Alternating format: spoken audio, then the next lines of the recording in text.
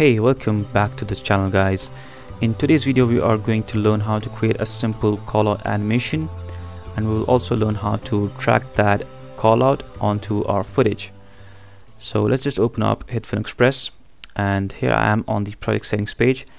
I'm going to go with 1080p at 30 frames per second and then click on start compositing.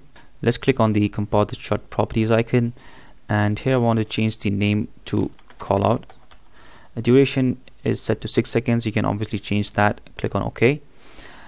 And uh, let's begin by creating the target, the little circle icon. So let's just create a new plane layer. and call this target. Set the color to white. Click on OK. Then I'm gonna select the ellipse tool, ellipse mask tool, and hold the Shift and the Alt key on the keyboard, and just create a oops and just create a and create a circle shape like that. And now let's select the selection tool. Hold the shift key on the keyboard and just bring this anchor point right in the center like that. And now we can animate this. So let's go to mask transform and I'm gonna create a simple uh, scale animation. So uh, right at the very first frame I want the scale to be at zero. Move forward 20 frames. Want the scale to be at 100 and maybe let's create one more keyframe and maybe like 10 frames so we want the scale to be at 90 select all the keyframes and convert the keyframes to manual bezier so we'll have an animation that will look something like that. Maybe we should set the last keyframe to 85 okay uh, we have that nice bounce effect going on. And again let's bring in this target into the timeline. And I want to hide this layer. And now grab the rectangular mask tool and create a simple shape create a simple line uh, like that. Okay and now we're going to unhide this. Select the selection tool and here is the anchor point. Again hold the shift key and just bring this anchor point onto the left edge of this shape. You can zoom in and be precise with this. And uh, again with the selection tool we're going to place this right on top of this circle shape. Let's go to mask go to transform and now we can change the rotation. So I'm gonna rotate this by about negative 25 and I'm also going to animate it. So let's see where our target animation is. Let's just real, real quick rename this to line and let's go to mask and this is where our target animation ends. So I want to start this animation of this line from that time. So let's create a scale keyframe break the link on scale set the scale to zero move 20 frames forward and set the scale back to 100 convert the keyframes to manual bezier and now we will have this kind of animation. Now again we'll duplicate this line layer and go to mask transform and we set the rotation back to zero. And uh, let's just simply change the position and we can like zoom into this and just put this just join these two layers these two line layers. And uh, now if we play this you can see our lines are animating at the same time. So we'll just move our playhead to the second keyframe. I'm gonna select these two keyframes and just put the first keyframe right at the playhead. So now we will have this kind of animation now on the second keyframe I want to extend the length of this so let's just change the scale to something like 150 now uh, we have this kind of animation. Now let's create a new text layer. Select the text tool and just start typing your text. I'm going to type in simple go to text and here we can change the font. Maybe let's go with Sans I'm going to increase the font size and now with the selection tool I can just move it around like that. I'm gonna rename this to simple. I'm gonna duplicate this and I'll just move it down like that. Again use the text tool and change the text to callout. I'm gonna rename this layer to callout like that. And now I'll just uh, want to animate the text layer. So so let's just see where our second line animation ends. So it ends at this time two two seconds and 10 frames. So I'm gonna move my playhead at that position. Now I'm gonna go to call out go to transform create a position keyframe. And let's just move uh, let's just move 20 frames forward and uh, I want the I want to have the same kind of position so let's just create another keyframe.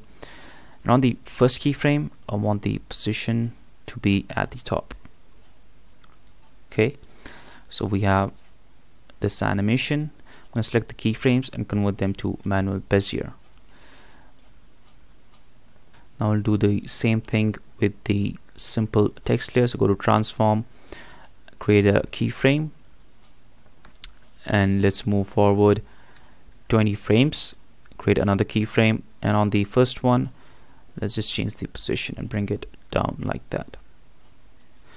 Convert the keyframes to smooth keyframes or manual Bezier keyframes. So now we'll have this kind of animation. Okay now uh, we'll just again drag in this target and put it at the top. I'm to change the name rename it to matte and I'm going to hide this. So I want this layer to be right in the center the top edge I want the top edge of this layer to be at the center. And now I will I'll search for the set matte effect in the effects tab and apply it on the callout. Now let's go to set matte set the source layer to matte set the blend to subtract. So let's see if everything is okay so we can see a text got hidden so we just have to simply click on the invert option and we'll just reveal your text. I'm going to copy the set matte effect and apply it on the simple text layer and we will just uh, uncheck the invert option and you can see your you'll get your text back like that. So now uh, we are done animating our uh, callout now it's time to use this callout onto our video footage. So uh, I'm going to import our video real quick. So let's just do that. Click on import.